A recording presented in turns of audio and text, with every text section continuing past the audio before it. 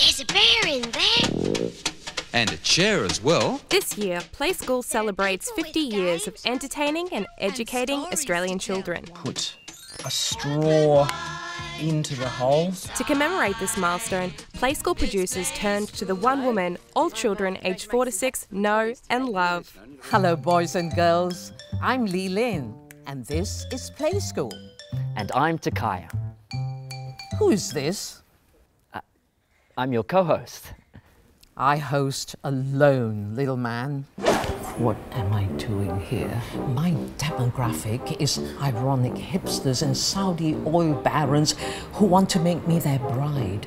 Preschoolers don't know me.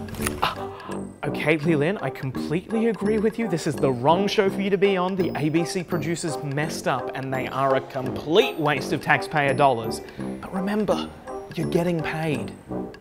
Oh, yeah? Not well. It's ABC. Play School Scene 1, Take 10. Taylor Fergus was the greatest tailor in all the land. No one knew more about fashion than Taylor Fergus. I dispute that. I'm going to have to run this past our EP. Play School Scene 1, Take 20. And then they crowned Big Ted, ruler of all the no, they don't. The crown is for me. I'll do it as long as I can read them a story. Fantastic Play School love stories. Fifty Shades of Grey. Oh, that's a mummy and daddy book. I don't know. The writing is very childish. Play School Scene 1, Take 50. All right, Leland, how about we play dress ups?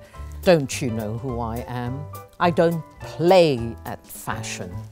Ah, I don't get paid enough for this.